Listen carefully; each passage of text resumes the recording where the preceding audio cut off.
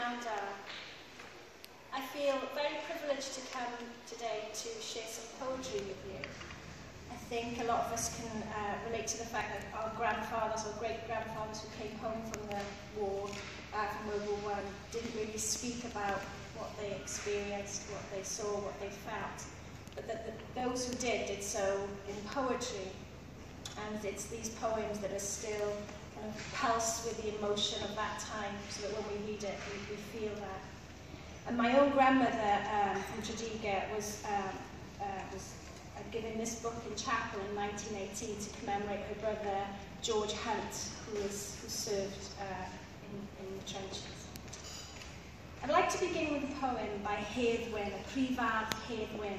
Uh, Ellis Evans, he was a shepherd from Trawsfynydd, and he began a poem home, and he finished this poem in France, and he sent it to the Eisteddfod. The poem was called Yr Arwr, the hero, and he won the chair.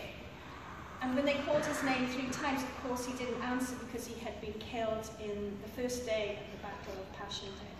And so they put a black drape on the chair and it became known as uh, Steddfod, the Gadair Ddu. I'm not going to read from that poem, and neither am I going to read from Shravvel, which is another one of his more well-known poems.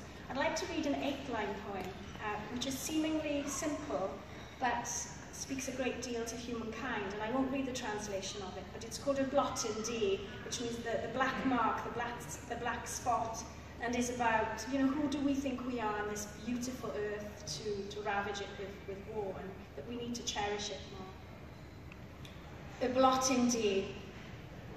Nid oes gen i'm hawl ar y ser, na'r lleiad hiraethus chwaith, na'r cwmol o air a ymylch yng nghanol y glesni maeth. Nid oes gen i'm hawl ar ddim byd, ond ar y hen ddeiar wyw, a honno sy'n anrhefyn i gyd, yng nghanol gogoniant Dyw. I would love to have shared with you um, lots of poems today. We could have had a couple of hours, that would be nice. um, and it was very difficult to, to whittle it down. Um, and I spent the last two weeks reading lots of poetry from World War One. Um, I found, just for your information, a wonderful poet from India. She was known as the Nightingale of India. Her name was Sarojini Naidu, um, and she was a politician, and she wrote poetry about you know how many sons India had also given to the war between 1 and 1.5 million um, service people. And also by Gwenacht, who was a conscientious objector. So I've read quite a range of poetry in order to, to bring some poems to you today. But the, the second poem I'd like to read to you is by Ivor Glyn, who is our, the National Poet of Wales. And Ivor has done a lot of work and travelling to, to find out more about soldiers and the war and the poems of the war. And I'd like to read his poem, Darllen e Gris, which means reading his shirt. And what this actually meant, Ivar told me, was that when the, the, the soldiers were in the trenches and they were picking the, the lice, the fleas from their, from their clothing, they called that Darllen e Gris, reading their shirts. Sorry, reading his shirt. Reading his shirt. Crack after crack in the quiet of a trench, Ellis Evans is reading his shirt. Head bent to a text that eats him raw, nails cracking and shaking, letter after red letter from the flannel, busily generaling a silent laughter. So silent that he hears his own nervous swallow, just as when love's buttons were first undone and resistance mocked up with a barrage of lips. Her picture is still warm beneath his shirt. And it's details like this that steady a man his razor's kiss, the self seen briefly in the mirror's eye, until he dons his shirt once more and disappears into a map on an HQ table, the pencil slash of a scarlet attack, as another general blows pencil shavings from the folds of his new offensive, crack after crack in the quiet of the trench. And in case I didn't say, that was Ifor's own translation of, of his work.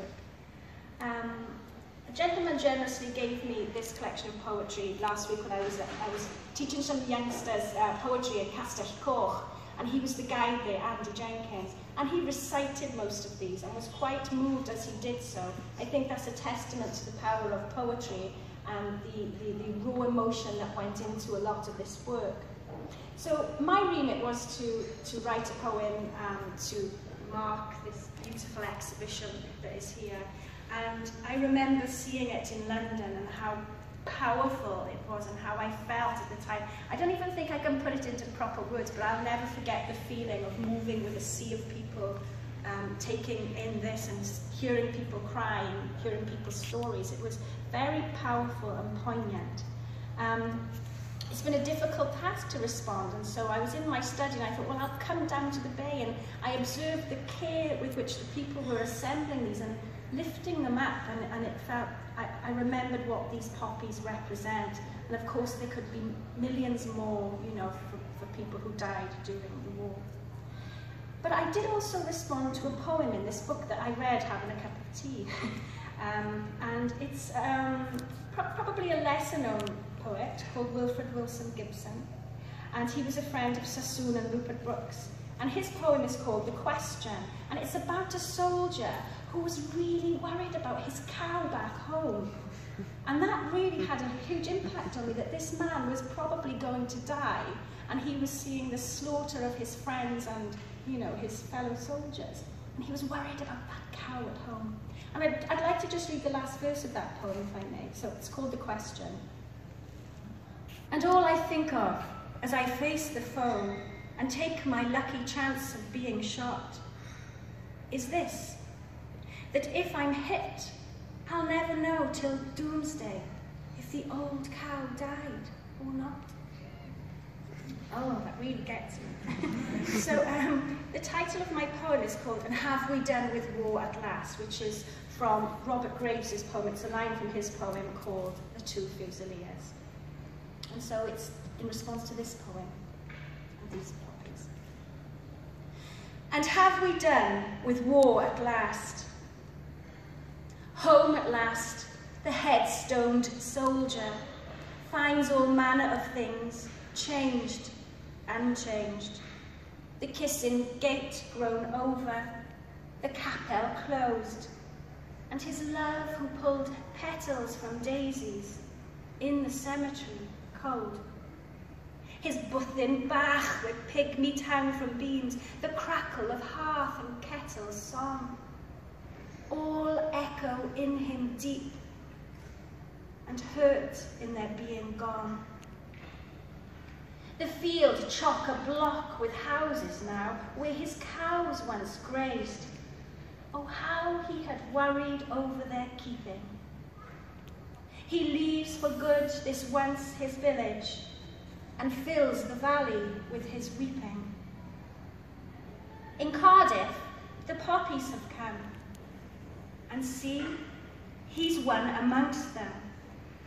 He knows too well their crimson hues and their endless tangles of iron. These bold blossoms spill like blood from cedar beams above.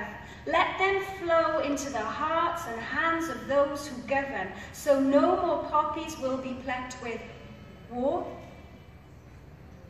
War no more. More. Diolch yn fawr.